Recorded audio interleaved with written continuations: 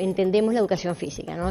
Como un tema físico propiamente, donde, bueno, puedo decirte sí, digo, hemos este, hecho nuestros aportes desde lo físico, la educación física como tal, y, genera, digo, en la, en la población, obviamente genera este, varias cosas, desde el placer, desde el encuentro, desde el entusiasmo, desde la práctica misma y, sentirse bien.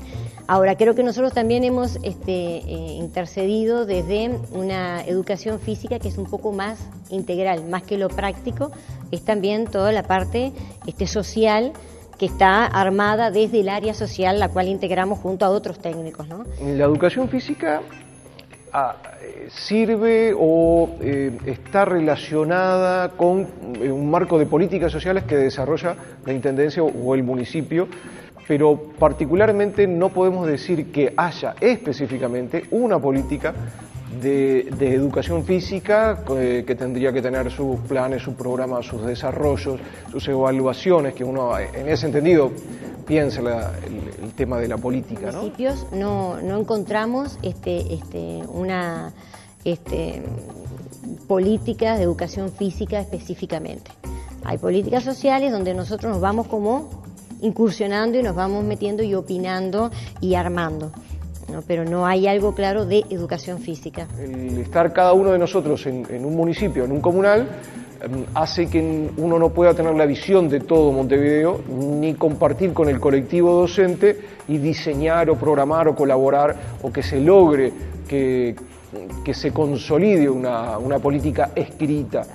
Comienza desde que se plantea una idea de armar algo. ¿No? Las, planificaciones, las reuniones, para dónde va, cuál es el aporte de la educación física, de dónde está el aporte social, el aporte de la maestra, el aporte del vecino, en qué lugar abierto. Las actividades son mucho más, este, vos nunca sabés quién va a venir. Puede venirte niños chicos, gente grande, muchos, pocos. Es una experiencia que la vas viviendo a medida, bueno, está la, programa, la programada, la armás, pero es un espacio abierto.